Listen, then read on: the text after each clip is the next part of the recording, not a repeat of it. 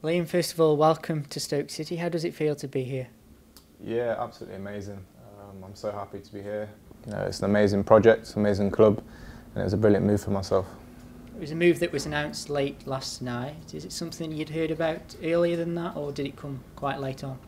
Um, I knew there was a little bit of interest, but there was a few things that needed to fall into place, and then yesterday evening things really spread, sped up. Um, it's been a bit of a whirlwind, 24, 48 hours, but I'm glad it's over the line. I think you've had quite a journey to get here as well, because you've recently been playing for Jamaica. Yeah, I went across to Jamaica, uh, had a home game, then we moved across to Panama. And the day before the Panama game, I got the call to say, you know, it's looking likely. Um, so I had to go Panama to Miami, got delayed in Miami for five hours, uh, back into London Heathrow yesterday about 12.30, 1 o'clock, back home, which is Leicester for me, and then Leicester across last night to, to Stoke. Was it a pretty easy decision to make though when you learned of the interest? Yeah, absolutely. I know a lot of people say that when they get a move, but honestly, I feel like this is a great step for me. Um, it's a big football club and a great chance for me. You're on loan until the end of this season, but did you view it as an opportunity to try and earn a permanent move here? Yeah, the manager said not to see it as a trial, um, but just to do what I do.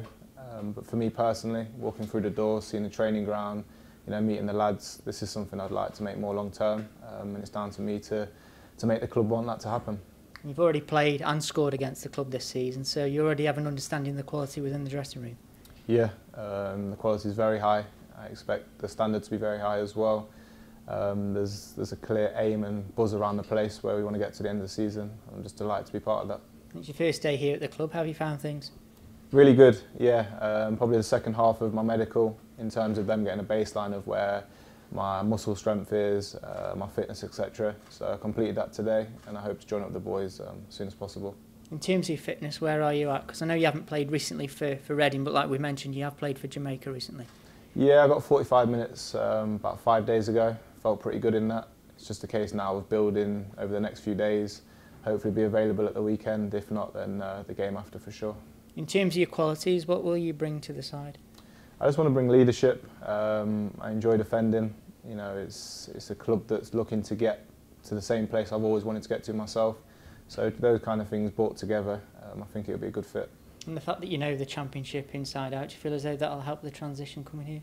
Definitely. Um, you know, a lot of the lads I know from playing against them, from being in the championship, um, and also the teams that we're facing, nothing should be too new. It's just about getting the ideas of the manager and the rest of the team as quick as possible, and I hope to fit in very fast. I suppose you're just looking forward to that first game and playing in front of the Stoke City supporters for the first time. That's it. Um, I've got like a, a buzz again, um, a real good feeling inside. You know, it's, it's nice to come to a big club and to have something to aim for. Um, so yeah, I feel like a kid again, but I'm excited to get started.